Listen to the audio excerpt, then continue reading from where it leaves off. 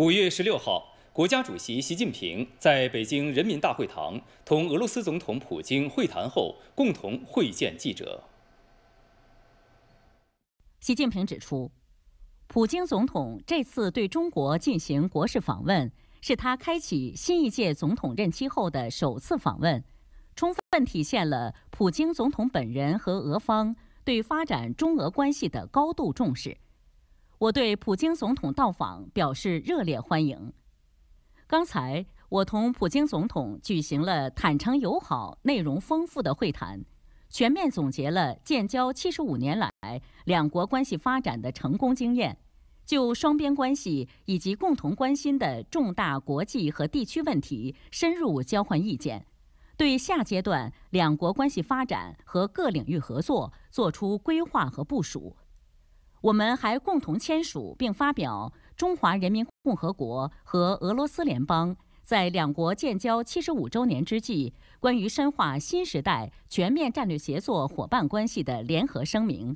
见证了多项两国政府间和部门间重要合作文件签署，为中俄关系健康发展注入了新的强劲动力。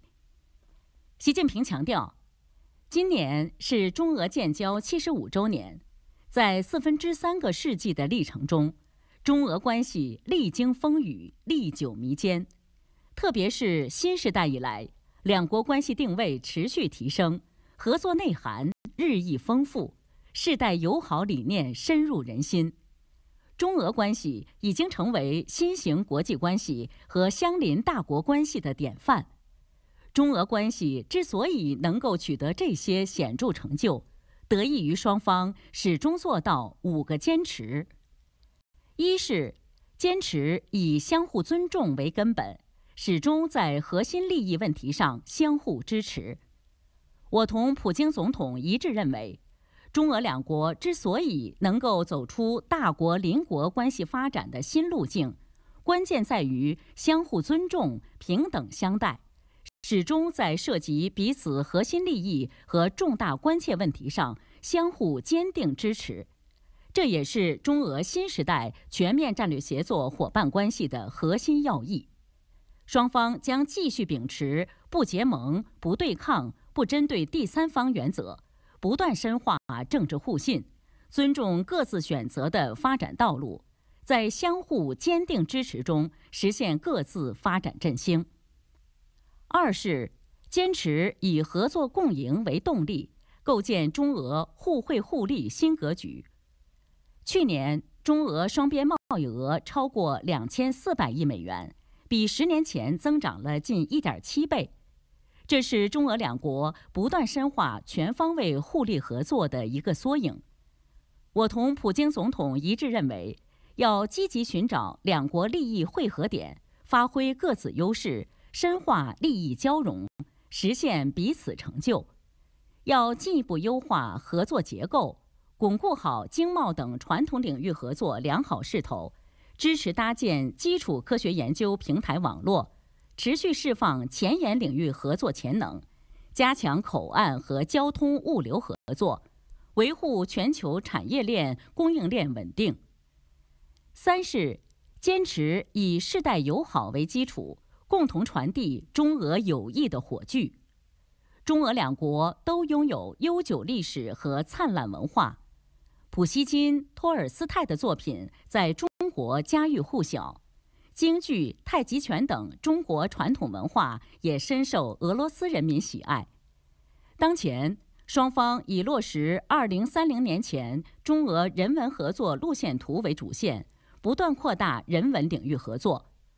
我同普京总统一道，将今明两年确定为中俄文化年，提出双方要举办一系列接地气、连民心、有热度的文化交流活动，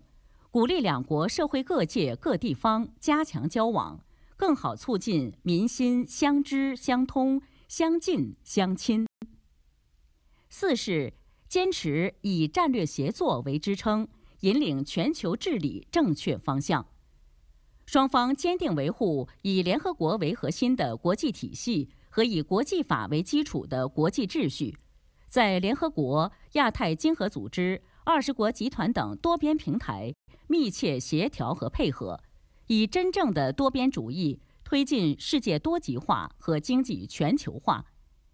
今年，俄罗斯担任金砖国家轮值主席国，年内中方将接任上海合作组织轮值主席国，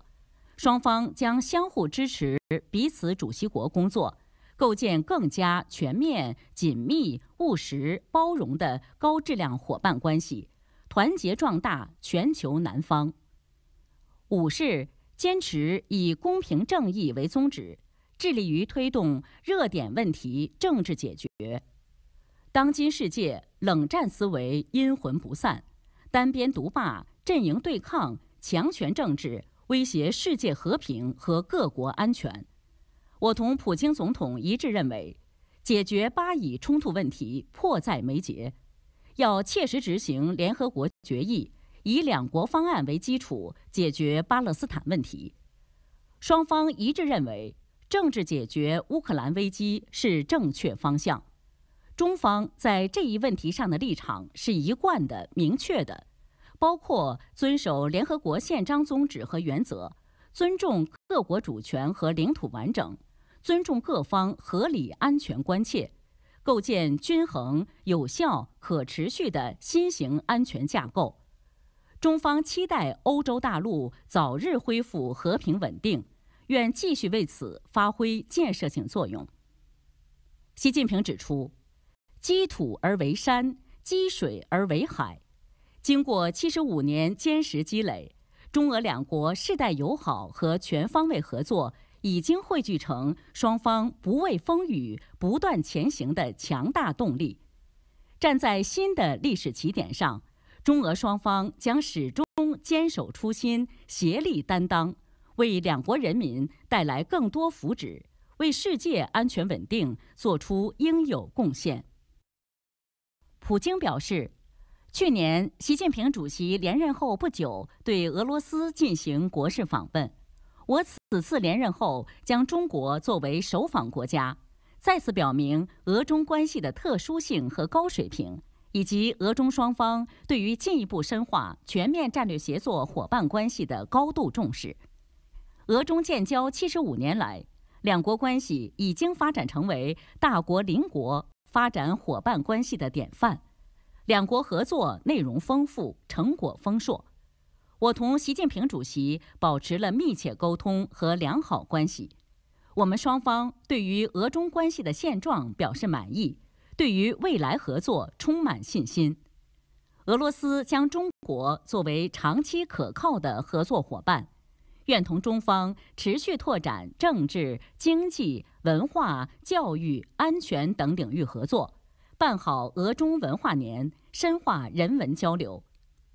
俄中在国际舞台上保持紧密协作，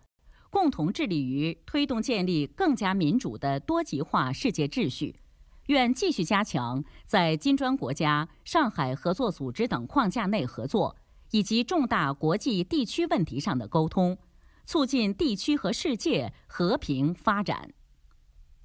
当天中午，习近平在人民大会堂金色大厅为普京举行欢迎宴会。蔡奇、丁薛祥、王毅、何立峰、张国清、慎怡琴等参加上述活动。